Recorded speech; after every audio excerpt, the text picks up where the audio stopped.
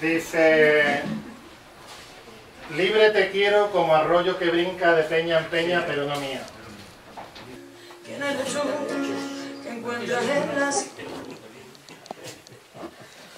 La muchacha que canta es de, se llama Lucía Socan, que es de un pueblo de Sevilla, de Guillena. Y bueno, Es una maravilla. mm, canta muy bien. Que... no sé. ¿Por dónde seguimos? El hilo. Del sin poder. Esto, el vídeo este, lo hicimos justamente a partir de unos debates que tuve en México y en Canarias. Y justamente esa reflexión del vídeo es la que nos llevó a empezar a, a empezar a pensar en que podíamos escribir el libro, ¿no? Que salió a final de marzo. A principios de abril fue la primera presentación, el 6 de abril. Ahí en el libro pues también hay artículos de Raúl Civechi, de John Holloway, que son propuestas distintas a la nuestra, pero sí creo que abren un diálogo y un espacio para poder trabajar cosas, ¿no? Entonces, el libro tampoco plantea una forma unívoca de trabajar, ni una forma que es la forma correcta de, de lo que hay que plantear en lo social, sino que hay diferentes propuestas, algunas coincidentes y otras que, como la de Raúl, por ejemplo, eh, él sigue en su dispersión del poder, sigue planteando que tiene que haber poder, ¿no? aunque sea un poder más horizontal, más cercano, más... Nosotros planteamos que no, no debe de haberlo. Una pregunta. Cuando estamos hablando de la negación del poder, estamos hablando del poder concreto, Si es la propuesta de John Holloway. porque, porque de alguna forma, me lo estaba comentando Rafael, lo estamos, la realidad es que cuando tú estás diciendo no, Estás ejerciendo una forma de poder, de alguna forma, ¿no? sí. un poco más abstracto, no es el poder concreto y, y sometido a... Entonces, me queda el... me queda el- la duda de si el- la negación del poder no es una cuestión más teórica que práctica. Mm, Tendría que planteárselo a John Holloway, porque no es nuestra propuesta en realidad mm, esa, pero Tal claro, como yo lo es que claro. tiene respuesta para todo. No, pero es verdad. La nuestra es el desempoderamiento, el plantear la negación del poder, pero en realidad sí, es cierto que a veces, eh, sobre todo en el tema, bueno, hay muchos movimientos sociales, yo creo que las imágenes que salen ahí, cuando, cuando se plantea lo de, lo de yo, es justamente eso. mm, por ejemplo, Iñaki no te case, parece una tontería, pero es un- una propuesta en contra de la institución del matrimonio, ¿no? A lo mejor los, amigos eran unos cabrones, pero eso no importa, ¿no? Pero sí el no a la violencia, el no a la guerra, el no... Es lo primero, es el grito primario que te sale, ¿no? De ahí. Entonces, luego a partir de ahí lo que plantea John Holloway es el hacer su propuesta metodológica que es la grieta, ¿no? Ese no provoca una grieta y esa grieta te puede llevar a que si tú como desconexión ese no lo utilizas para poder construir otras cosas ¿no? en esa grieta pues puedes transformar el mundo ¿no? nosotros lo planteamos de otra manera pero no plan que sí creo que es interesante dialogar con esa posibilidad nos ayuda Es que creo que el error consiste en llamarle a ese no contrario a un poder, aceptar, llamarle otro poder. No sé si era Millás, hace poco he leído que decía que esta sociedad es normalizadora porque homogeneiza lo que se llama normal. Entonces no aceptar que haya nada normal, sino que es un poder el que nos está normalizando. Entonces esto es lo mismo, o sea, es que si al no que dice un niño, no el de la pistola, un niño pequeño, lo veis como un poder, un otro poder cuando se resiste a un padre o a un profesor, para nada. En todo caso es una resistencia, en muchos casos suicida. Como un espartaco que se resiste a sabiendas de que va a palmar. Entonces si no lo llamamos otro poder, meramente lo que estamos haciendo es un hacer resistencia a lo que sí es un poder y tenemos que tener claro. Estamos hablando contra las etiquetas. Si es que necesitamos nombrar esto que estamos haciendo, llamémosle fruscurrulo y compongámoslo de otra manera, cuyos argumentos base sean precisamente los primeros, el que estamos en contra de que eso sea definido como lo otro que enfrentamos. Si es que necesitamos nombrarlo, que insisto, no habría ni que necesitar nombrarlo, solo hacerlo. Pero bueno, es que creo que también en el libro tenéis temática suficiente con el tema del lenguaje. Para mí el lenguaje es el matrix por, el medio, por medio del cual desde pequeños nos inoculan todo. Entonces si no cuestionamos el lenguaje, que a la vez que es el medio de inoculación, aún y así, como apunta, insisto, lo apuntarán otros, yo se lo he oído a Agustín, es el medio por medio del cual podemos cuestionarnos el propio lenguaje. O sea, podemos estar hablando del mundo del que hablamos, con un montón de ideas y de cromos de colección, pero estamos hablando aquí y ahora, en el mundo en el que hablamos, aquí y ahora. Y podemos cargarnos todo el lenguaje prostituido que nos acontece desde pequeños. Pero una vez Cortázar, en una, en una charla que dio en Madrid, que yo asistí y me quedé, dijo una cosa que, muy puntual sobre esto. Dijo, es que tendríamos que inventar nuevas palabras, porque ellos ya utilizan las mismas palabras que utilizamos nosotros, ¿no? Por ejemplo, libertad, para ellos tiene un significado, para nosotros, y utilizan las mismas palabras, tergiversan y, y, y- Sí. y aturden, ¿no? Me refiero a ellos, a, Sí. los, a los dueños cogiendo libertad, no será la primera vez que has oído decir que para cierta gente libertad solo es un concepto que en vez de intentar definirlo en positivo, hay que definirlo en negativo. En negativo. Libre de esto, libre de aquello otro, libre del otro que me pongas por delante, libre de otro palo en la rueda que me quieras meter. Sí, él, él quería decir una cosa también. Creo que hay que hacer más, más que resistir, porque frente al poder, pues sí, te sitúas en la resistencia, pero ya te estás situando en una relación de contraposición, Enfrentamiento. como muy lingüístico. Entonces, pues un poco, por lo menos, ver los espacios de salir de esa relación. Cuando sales de esa relación contra el poder, es cuando puedes empezar a crear otras cosas que al fin te quedan las narices y te sitúas en el poder o fuera de él o, o cada uno, ¿no? Más que empeñarnos en el poder y negarlo y construirlo y lucharlo y tal, uno da muy bien. A la hora de, de crear, a la hora de abrir, a la hora de, de, de jugar, Pues eso es lo que ellos dicen, yo creo. Invisibilizarnos de alguna manera, o como decía Foucault, el emboscado, emboscarnos al margen y, y trabajar desde ahí, pero gente junta, desempoderada, desde mi punto de vista, despersonalizada, desunamismizada, suficientemente, o por lo menos jugando ese juego habitualmente lo suficiente para estarlo de una manera fija, discontinua, consiguiendo a medias, un rato sí, otro rato no, pero luchando contra ello. De tal manera que los críos que vengan detrás, insisto, que no traen pistola, se empapen de eso. No que desgraciadamente, en el modo habitual de suceder las cosas, pues remitiros a cualquiera que conozcáis, si no se van empoderando ya desde pequeños. Pero que a lo mejor, en parte, eh, tienes razón en el sentido de que luchar en contra te agota, mientras que si tú construyes una cosa nueva, en, el- en esa construcción, cuando vengan a darte, pues tú te defiendes porque si no te duele. Pero intentas que ni siquiera puedan verte, ¿no? Ahí tú tenías la palabra. Sí. Sí, eh, yo quería comentar un par de cosas. Como que en este debate que se está teniendo, como que cuando es verdad, no sé, yo lo veo un poco como lo comentabais al principio, ¿no? El tema, el tema reversivo más aplicado al no, no, a no, no a la guerra o no a no sé qué, eh, igual no te llevas tantos palos como cuando estás construyendo algo y te lo tiran por delante, ¿no? El reversivo. mm, No, espera, espera, que me estoy... Vale, da igual, eso. para arrancar. Vale, sí. Vale. El tema es que, y lo siento, Da igual, ¿no? el tema Caso, es que, que cuando estás construyendo un mundo nuevo a través de la negación o lo que sea, sí que es verdad que puedes llegar a mogollón más de peña, por sacar un poco el lenguaje, o sea, Mm. llevar un poco más el tema del racismo de las relaciones sociales y tal.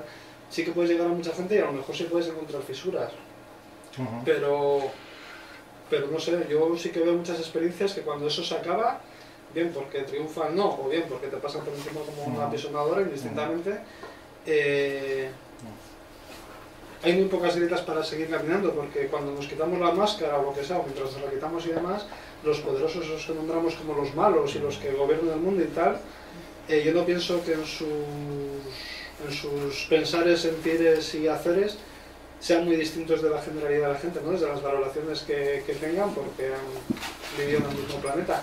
Entonces, de ahí muchas veces es el tema de que las luchas concretitas del no son muy prácticas, porque son algo muy concretita, y puede subir a mucha gente, y todo el mundo puede estar de acuerdo, y el, objetivo es más concreto y tal, y, y cuando vas al más allá, ¿no? al desempoderarte en la vida cotidiana, como que realmente para mí mi análisis es o que, o que llegas a unos niveles de, de actuación o de satisfacción de necesidades a nivel grupal o colectivo muy limitadas, o que realmente eh, casi todos abandonamos el, el barco porque tenemos otros intereses detrás. Sí, pero que nuestra propuesta en concreto, a nosotros nada más que nos vale el no como oportunidad de abrir hacia otro sitio. Sí, sí, sí. Si el no es encerrarte Y lo que te iba- ti lo- mismo, no vale. O sea, a mí no me vale. Eso, no, no, no es unirte a mogollón de Sí, gente. Entonces, lo que te quiero decir es que cuando planteas esa, esa transformación de, de hacer cosas nuevas y, y propuestas en positivo, currarte vital, eh, no sé, eso cuando lo haces en, en grupal, porque colectivo no creo que haya muchas más experiencias. Bueno, yo Eh, afortunadamente he participado en varias y nada más que tengo 51. Sí, yo, yo participo en varias, pero lo que quiero decir es que no llegas, no llegas a ese nivel de gente ni de, ni de transformación que supone. No, a lo mejor dentro de ocho generaciones sí, ¿no? Pero como que. No, no, ahora, ahora. Yo hablo de ahora. Sí, sí, yo también tengo. Eh, ah, por eso, pero que yo sí vivo y he vivido experiencias en las que participa mucha gente y ahí están, haciendo cosas. No dentro de ocho generaciones ni en el pasado, cuando nuestros A lo abuelos. que quiero ir es como que a mí me parece que para que realmente esas cosas funcionen y, y- y nos sirvan como personas para Ujú. satisfacer nuestras necesidades de grupo como sean, como realmente funcionan es en grupos más pequeñitos, más de afinidad, que... No, No, tú crees que no. no, no lo creo, no, yo soy, no soy creyente, sino que lo vivo. Sí. Claro, eh, vivo experiencias en las que no son grupos pequeños. Que igual es lo del disenso, ¿no? Que parece, ah, bueno, todos estamos de acuerdo en este no y vamos a trabajar este no. Y entonces ya te conduce el propio objetivo, Claro, el consenso del no. el consenso. Entonces trabajamos desde el disenso. Entonces en ese disenso la gente se siente a gusto con lo que está haciendo. No es como eh, tengo que ir todos los días a este para ir en contra de esta empresa. ¿no? Ese no de insistencia, no, no, no, sino que vas haciendo cosas en el encuentro a partir de ahí. ¿no? Con procesos de ayuda mutua en las diferentes posturas que hay a nivel grupal, que construyen colectivamente a partir de ese disenso y esa ayuda mutua. que yo pienso que igual haría una cosa o ella haría otra, él haría otra y lo vamos encontrándonos en, ese, en esos haceres también. Si no, tendría que ser ahora viene el experto a decir lo que hay que hacer ante este no. Y además que es la forma de crear la diversidad, que en la agricultura lo tenemos súper claro, pero luego a nivel social lo único que queremos son monocultivos, que haga todo el mundo lo mismo, si es, si es contra el poder, todo el mundo lo misma forma, las mismas palabras y los mismos gestos contra el poder. Y entonces, en realidad, No, lo que hay que hacer, no, si no lo digo por ti, lo digo porque es la visión dominante del mundo alternativo. Lo que hay que plantear es que justamente igual que en la agricultura estamos diciendo que lo importante es la biodiversidad, estar en armonía con el entorno social y natural, no sé cuánto. En lo social es idéntico a eso. No puede haber un monocultivo de, movimientos sociales que se plantean, no sé qué, vamos a hacer una plataforma para que todo el mundo haga lo mismo y entonces todos los colectivos dediquen este año a esta, a esta campaña. Te ha cargado toda esa diversidad de repente. Entonces, o trabajamos de otra forma o, O tienes que quedarte luego en barbecho. claro, en barbecho varios años. Y la otra parte de la intervención, que había dicho que eran dos cosas, Mm. es más concretita todavía y es como que a ver si somos capaces de encontrar las herramientas, aunque puedan ser esperar Ujú. unos segundos antes de que la intervención, para que a lo mejor otra gente pueda tener la oportunidad de, de participar en el debate. Ahora, yo los refugiados, ante los embates y la crueldad del sistema poderoso, mientras se desempoderan, ¿qué les pasa? Ellos se desempoderan. Pero- y el sistema los aplasta. Claro, porque es un- eso no es desempoderamiento. Desempoderamiento es hacer dejación de poder hacia abajo. Sí, Entonces, tú lo que planteas es mientras se desempoderan, que sería en ese caso hacer dejación de poder hacia arriba, hacia el Estado, No, que lo el destruye poder, hacia el mercado. poder de defenderse. Poder de defenderse y de contestar. eh, hacia arriba, no hay que hacer, no puedes hacer desempoderamiento, Claro, hacia arriba. y creo que no. Ah, no, no puedes, no puedes. Además se llama de otra manera, tiene otra palabrota, se llama desapoderamiento, pero bueno, da igual. Que no puedas hacer desempoderamiento hacia arriba porque entonces estás muerto. Y de- yo como no, no creo en la vida después de la muerte, pues no me voy a regocijar en el mundo futuro después y no sé cuánto, sino ya estoy muerto, estoy muerto. Se acabó. ¿Quién más? ¿Nadie? ¿Sí? Bueno. Quiero plantear una cosa. Eh, si, si suponi- suponiendo que, que el acceso, o sea, que el acceso al poder, la forma de acceso al poder queda legitimada evidencialmente en la persona que de repente tiene el poder, eh, si un grupo, grupejo de gente coge poder, lo diluye hacia abajo para legitimar esa forma en que los nuevos actores de repente se encuentran poder y lo manejan como puedan, ¿qué diferencia hay, habría en esa disolución de poder hacia abajo a desempoderamiento? Lo que plantea Raúl, que es justamente eso, ¿no? Dispersar el poder, hacerlo más pequeño, para que sea más manejable y podamos compartirlo y eso. Significa que siga habiendo relaciones de poder dentro del grupo.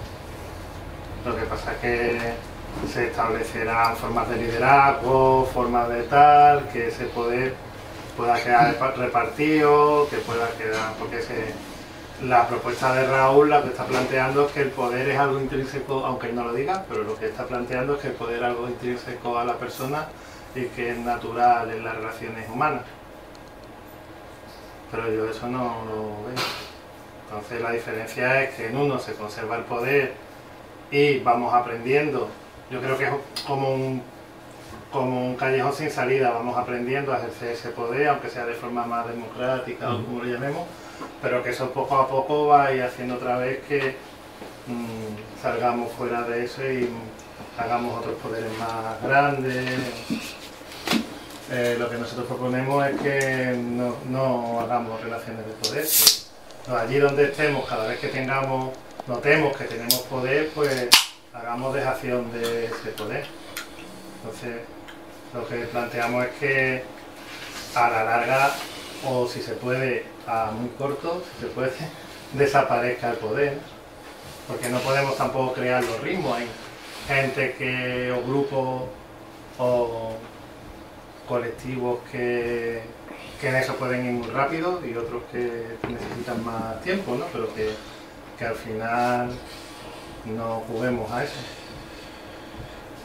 Que los tres marcos que dices, a nivel grupal, colectivo, Individual, sí, si no lo hacemos en los tres, no. Vale.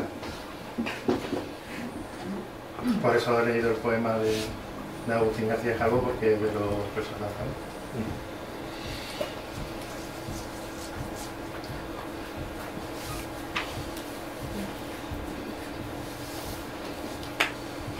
De las personas que no han hablado y que a lo mejor no se quieren ir a casa porque luego por la noche sueñan con las cosas que no han solucionado. ¿Quién quiere decir algo? También se puede hablar luego de la cerveza, ¿eh? pero quien quiera hablar que no haya hablado de la cerveza tiene que pagar por lo menos una cerveza.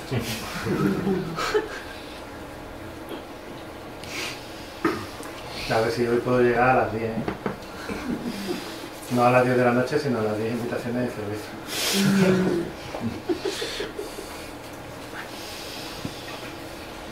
Y una cosa que a lo mejor es ahí a causa de la cerveza, pero con lo que estamos hablando hay mogollón de... Vale, que es el título grande, ¿no? De, del sin poder, pero entiendo que es como la excusa de cómo nos autogestionamos, autogestionamos la vida cotidiana. ¿eh? Y como que de eso no estamos hablando ahí casi nada, ¿no? Bueno, hemos hablado muchas cosas, lo que pasa es que no lo hemos dicho con ese nombre, pero venga, tú que quieres hablar de eso en concreto. En concreto, Sí. pues, eh, pues la salud o la sanidad, por ejemplo. ¿Cómo se podría...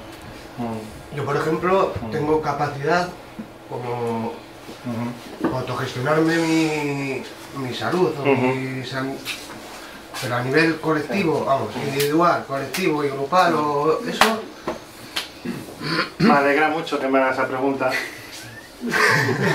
Claro, este libro es el primer libro de una palabrota que es tetralogía. Tetralogía, que es cuatro. Y uno que no es de la tetralogía, pero que está ahí pegado, no sabemos por qué, que es en euskera. Que serían cinco. Sería una pentalogía. Tetralogía euskera. Una, una, una Tetralogía pentalogía. no es que es tentalogía. Y más. Entonces, de esa tetralogía este es el primero. Y Entonces el segundo, que va, eh, que va a estar en octubre. De hecho hemos dicho que el día de octubre lo vamos a presentar. que- va a estar en octubre. Hombre, con los Eh, apuntes. eso es. Ya están todos los artículos. No, ya está, ya, ya está. Eh, se llama autogestión, autonomía e interdependencia. El que viene después, que estará antes del 4 de diciembre, mm, se llama educación sin propiedad. Y el que viene después, el último. el de febrero, el de febrero, ese va a hablar sobre el maravilloso mundo de la autogestión cotidiana de la salud. Entonces, te tienes que esperar hasta febrero. Están todavía pensando. ¿eh? Están todavía pensando. ¿Cómo se autogestiona la salud? ¿Es diferente la autogestión de la salud de la autogestión de otras cosas? Sí, ¿por qué? Sí, sí, sí, ¿por qué? ¿Por qué? Porque, porque la vivencia corporal es diferente. Entonces, ¿Es diferente el cuerpo que tú pones en el huerto que el cuerpo que tú pones en la salud? sí. Sí. O sea, que tiene una vida como... como... Qué bonita música. Eh, que tiene una vida como diseccionada, ¿no? Como fractal o como... Dicotomía. No, porque, jolín, a ti te duele el Esquizofrénica tomate incluso. con una muela, ¿sabes? Entonces- No, el cuerpo que tú pones para que salga el tomate te duele igual que el cuerpo que no has puesto para que te salga el tomate, porque es el mismo cuerpo. Es. Claro. Y se percibe. No, que le digo a él que sí, que sí. Se, se percibe en función de la relación de poder que tengas con el que te hace vivir, sentir, entender tu cuerpo. Normalmente viene de toda la lógica del poder Ujú. que te definen como eres. ¿Y en el huerto no hay poder? Sí, todo es diferente. Claro, eh, Porque claro. que sí. vives el cuerpo de manera diferente, Sí, a mi entender. sí, sí. sí. Porque no, no lo planteas. eh, eh, planteas en. Si hay mildew, o sea, no, no. No lo planteas tanto en función de si hay salud o no hay salud. No sé si yo es que no lo puedo separar. Yo no puedo, pues yo no puedo, no puedo escindir, no, no puedo Claro. no puedo escindir mi cuerpo. Cuando hago, por ejemplo, por llamarlo finamente, la actividad sexual, de cuando mm, estoy eh, recogiendo papas, que es lo que yo he hecho, sega trigo, o, eh, o cuando estoy eh, escribiendo el libro, no puedo separar mi cuerpo, mi cuerpo yo no lo entiendo como distinto, porque no, yo entonces, no digo que tu cuerpo sea diferente. eh, entonces Digo que la vivencia sobre o la interpretación de aquí te duelen los riñones por coger papas. y me duelen los riñones por la actividad sexual la- también. que la- bueno, Sí, que es verdad. Pues aguante, eh, si te riñones sufrido. por coger papas y la explicación de joder, me los riñones, joder, que te has pegado una paliza cogiendo papas, tiene una explicación y tú dices. Y lo "Ah, otro Es también. verdad. Dices que te ha pegado una paliza de follar. Sí, es verdad. pero cuando ya entras en. Me duelen los riñones por ausencia de salud, Ujú. No es lo mismo que los riñones por... Pero es que eso es la me salud. muy bien. Una cosa es, eh, lo que tú estás planteando es medicalizar la salud.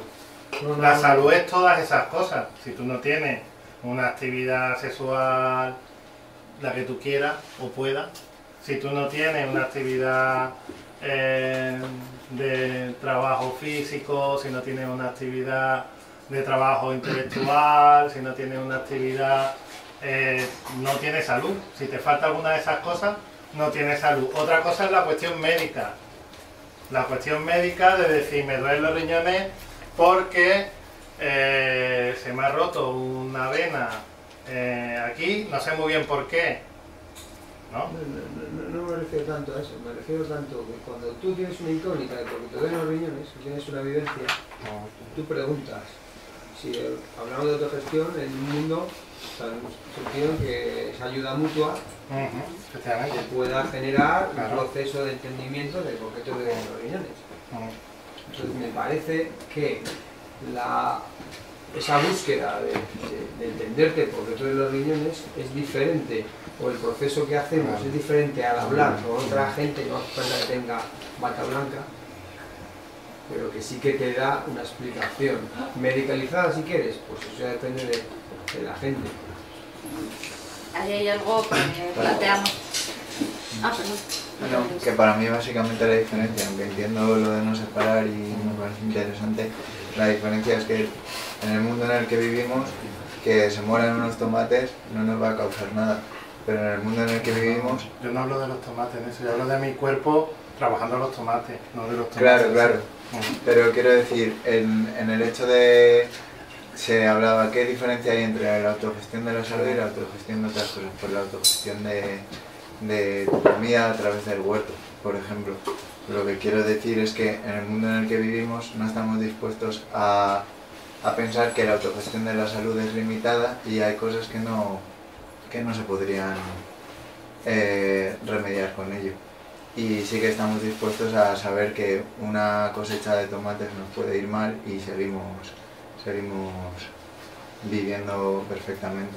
O sea, para, o sea, lo enlazo por, porque creo que dentro del tema de el poder en la salud es una de las cosas que, que puede explicar el que mm, dentro de las incoherencias que podamos tener eh, las personas que aspiramos a otras cosas en el tema de la salud es mucho mayor y, y porque en general la confianza y la legitimidad que tiene eh, la sanidad es mucho mayor que otros campos, que otros ámbitos ¿no? institucionales de, de la vida y creo que eso se explica porque porque no es tan fácil asumir que no tienes tomates a que no tienes mm, igual capacidad de, de hacerte una quimioterapia.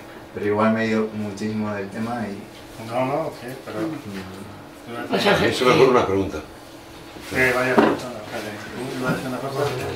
Lo que pasa es que la salud está absolutamente condicionada por las empresas, eh, de- de- ¿cómo se llama? ¿Cómo me sale nunca la palabra? Farmacéuticas. Entonces están inventando enfermedades y algunas que las vuelven crónicas. Por eso resulta muy difícil pensar en la autogestión. Pero si lo pensamos desde el otro lado, vemos que no es tan difícil. Claro, No es tan difícil. No sería, no. no sería tan difícil. No, volver a romper una lanza porque además de la autogestión de la salud individual, Ujú. si la queréis pensar así, no tiene por qué estar separada de la social. Es decir, me pueden doler los riñones por follar y puedo acabar teniendo un orgasmo, podemos acabar en masaje de riñones. Ujú, Claro. Me pueden doler los riñones por estar ayudando a los ancianos de mi tribu, bañarles, levantarles, etc. Me pueden doler los riñones porque estamos por la noche desvelados con un niño pequeño al que hay que mecer y mover porque le duele la tripita o que bueno, que ahí se- enseguida diría que hay que hacer colecho y a lo mejor deja de llorar, pero bueno, hay gente que se levanta, entonces duelen los riñones por muchas cosas.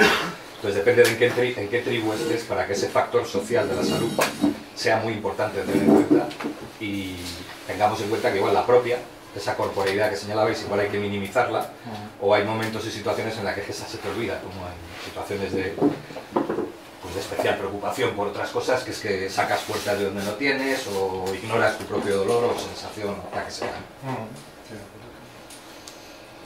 Bueno, yo eh, me había surgido una pregunta porque se me estaba planteando una duda porque por una cuestión semántica, es decir, no sé muy bien cuando estáis hablando de la autogestión, de la salud no estaba entendiendo muy bien si era de la salud propiamente dicha, porque es un concepto que, que tiene tantos matices en lo abstracto y en lo concreto que no, sabía, no estaba entendiendo muy bien si se- nos estábamos refiriendo a la salud propiamente dicha como sistema sanitario, a la salud personal, pero claro, eso relativo más que nada al bienestar personal, en, en relación al bienestar, más que porque la salud es algo un poco abstracto, ¿no? No, y, pero- y siempre la planteamos desde el punto de vista de encontrarnos bien, de tener un cierto bienestar. Pero te digo, es una duda que me ha surgido cuando he estado oyendo las distintas opiniones, porque ha, ha habido un momento en el que me ha dado la sensación de que se está hablando de distintas cosas, Sí, sí, de forma superpuesta, ¿no? Como un palimpsesto. Y Una el, cosa un poco... en el libro aparecen esas diferentes cosas. Eh, nosotros lo que estábamos diciendo era el tema de en armonía con el entorno social y natural. Entonces, en esa armonía con el entorno social y natural eh, implica el tema individual, grupal y colectivo, implica el pensar, sentir, el hacer. Entonces, todo eso eh, tiene que estar reflejado también no solamente en mi cuerpo para mirarme yo a mí mismo en el espejo, sino en mi cuerpo en relación, que es uno de los artículos que tenemos escrito en el libro, el cuerpo en relación, ¿no? En relación con las personas con las que hacemos las cosas, ¿no? Sí, voy a decir que hay dos cosas que ya apuntamos en el libro, sobre las que después hem- han salido entre las cosas el de salud. Uno es el de, en el desempoderamiento científico, que planteamos eh, que los conocimientos científicos tienen que entrar en, en una dialéctica de igual a igual con otros saberes que existen. Entonces muchas veces lo que hemos hecho ha sido dejar o abandonar los saberes que tenemos, populares, y los saberes familiares, y otros saberes que hay de formas de vida y de curación, porque la salud no es solo curación, pero la curación es una parte muy importante. Y, lo que tenemos que hacer es entender y recuperar también esos saberes y reconocerlos y mejorarlos, ¿no? Porque en realidad lo que nos insisten en esta sociedad específica, porque no es así, es que nosotros no somos capaces de hacernos cargo de nuestra salud. Igual que no somos capaces de hacernos cargo de nuestra alimentación o de otras muchas cosas. De nuestra vida y por eso Y en realidad, en, eh, por una parte está eso, que los saberes populares, los, los saber hacer, lo- el manejo de plantas puede ser, igual que otras cosas, que no es solamente, eso es más de enfermedad, sino las formas de comer, las formas de comer sabemos que hacen mucho, tienen mucha relación con la salud, otras muchas cosas. No solo la comida en sí, ¿no? Lo ecológico, agroecológico, sino cómo cocinas, cómo hacer la compra, todo está relacionado con la salud también. y que hay que reconocer esos saberes, porque si no parece que somos tontos. De repente, si no tenemos un médico, un cocinero, un eh, profesor, un no sé qué, no somos nada. ¿no? Y lo otro es el artículo de eh, cuerpo en relación, que es un entendimiento de lo que es el cuerpo, que es una forma, bueno, que igual más íntegra y más social, ¿no? no el cuerpo como individual que también, sino también el cuerpo en relación con otros cuerpos. Entonces ahí, como marcaba, decías tú también en parte, ¿no? que si nos vamos ayudando, nos vamos cuidando en realidad que necesitas a lo mejor una, un- una respuesta médica, científica, tradicional eh, o convencional, pero que en realidad acaba siendo lo mínimo. De todos tus, todas tus cuestiones de salud acaban reducidas a una cosa, a una actividad concreta, que no hace falta porque no hace falta eliminar lo médico. Eso lo plantean los zapatistas también, que tienen, mira, tú tienes aquí que puedes tener un acceso a este tipo de curaciones y también este tipo y este tipo y puedes hacer diferentes tipos. O sea que, o ninguna. Que parece que, no som- que somos como tontos de repente, que no sabemos ni cuidar de nosotros mismos. El otro día en la televisión salió un tipo que ya no sé, era el dueño de no sé qué de las, de las patentes, de los medicamentos, todo eso, era el dueño absoluto. Y cuando le dicen que eso no era legal, dijo, esto es legal, esto se llama capitalismo. El capitalismo ha, ha generado, ha hecho el milagro de la zanahoria del dinero. Y hay muchos médicos hoy, salvo honrosas excepciones que las hay, ¿eh? que más que curar piensan en ganar dinero. ¿Eh? Desgraciadamente, esta es la realidad que, que te- no digo no digo todos, hablo de honrosas excepciones que además a mí me constan. Pero, pero hay muchos que piensan en, en en ganar dinero nada más. y se dedican, buenos médicos clínicos, buenos, buenos, ¿eh? y se dedican a hacer estética. Y va una señora y a la semana se le cae la oreja o, o se, le, se le entumece el párpado o cosas así. Pero igual en todas las profesiones. Lo- la gente que se dedica a la educación, la gente que Sí, se sí, sí. dedica a, Capitalismo. a dinamizar la sociedad y los movimientos sociales. Y los cantantes y los- también. los otros, Sí, los cantantes son la hostia, Por ejemplo, cantantes. ejemplo tengo por los papeles en Panamá. Igual podemos. Mandé una bolsa de papeles. ¿Alguien quiere decir algo antes de, de algo? De irnos. Antes de un poco de música. No, de irnos no, porque va a haber un poquito de música. ya se está escaqueando. Hasta luego.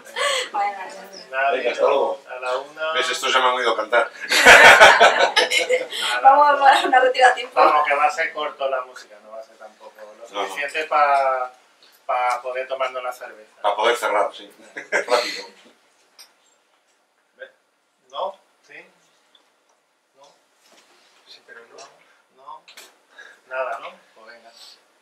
¿A cantar? ¿Yo? Seáis, lo que seáis. Yo no sé. Bueno, el libro que no hemos dicho lo hemos publicado con la editorial Volapuk, que es una editorial de Guadalajara, sin ánimo de lucro, que es muy buena gente.